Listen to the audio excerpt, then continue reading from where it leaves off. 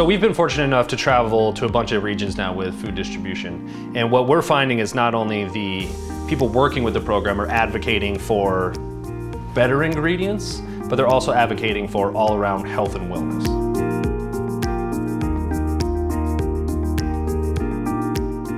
Commodities have changed a lot. I remember growing up, you used to get them off the back of the truck. They just had a box and they handed it to you.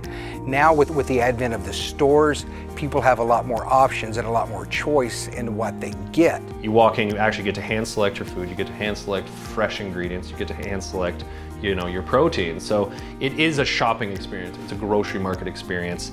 It's food, it's real food.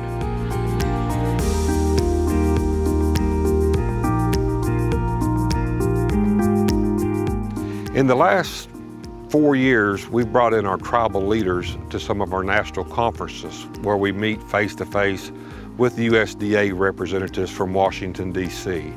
Our tribal leaders have become much more active in, in the food selection process. Compared to what we had as kids offered then to what they offer now, unbelievable.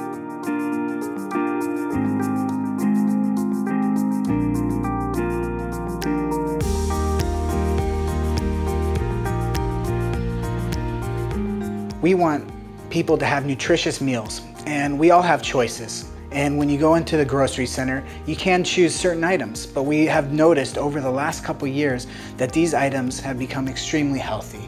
And you can make choices of choosing the lean meats, the fresh produce, and then in combination, there's other items that you can bring into your meal to make it well-rounded.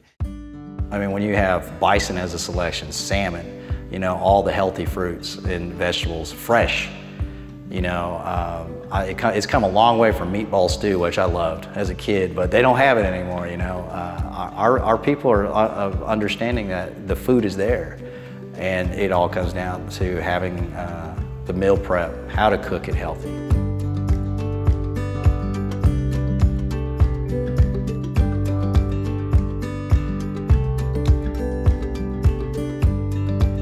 If we take the time to educate people, and to actually walk them through and say, hey, this is an option for you. This is something that, that we can do. It will actually help benefit their health.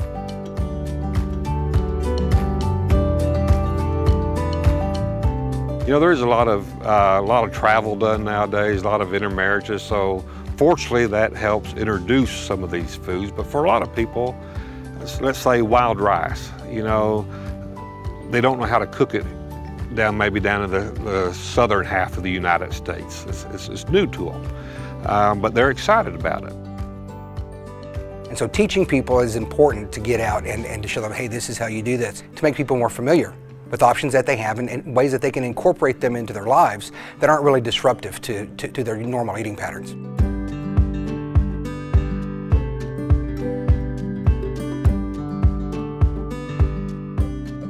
We've seen in four years indigenous products incorporated. We've seen native produced products. That's coming from native people advocating for native people. So yeah, it is a government program, but it's also the people within our own community that are making the change for everyone.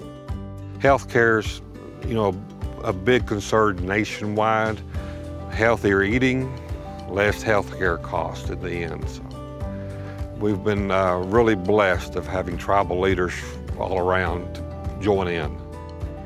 Um, I ran into a lady at one of the convenience stores the other day and she was trying to buy other healthy items to put with her commodity foods because she is, I'm trying to learn how to cook healthy. And I'm like, hey, it's, it's worth it in the long run. Just, just keep doing what you're doing. You're on the right path.